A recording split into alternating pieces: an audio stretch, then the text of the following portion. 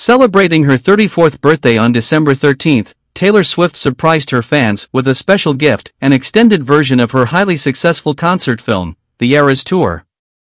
Times Person of the Year recipient, Swift made the announcement on Instagram, inviting fans to relive her magnificent performances at home.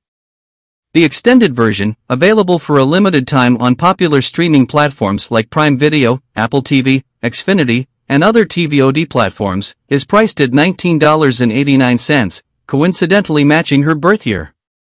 The promotional post on Instagram exclaimed, The wait is over, watch Taylor Swift's The Eras Tour extended version at home with three performances not seen in theaters.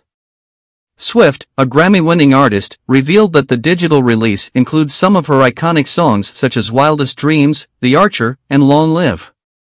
Reports indicate that the Eras Tour movie achieved a remarkable $250 million at the global box office, solidifying Swift's position as a pop megastar.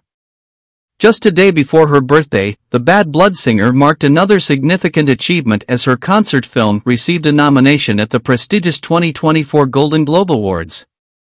The movie, capturing the essence of Swift's successful concert tour, is recognized for its cinematic and box office accomplishments, securing its place as the highest-grossing concert film globally. Swift's continued success in the music industry and the global recognition of her cinematic endeavors underline her status as a multifaceted artist. As fans around the world celebrate her birthday, this special release adds an extra layer of joy for those eager to witness Taylor Swift's unparalleled talent and charisma.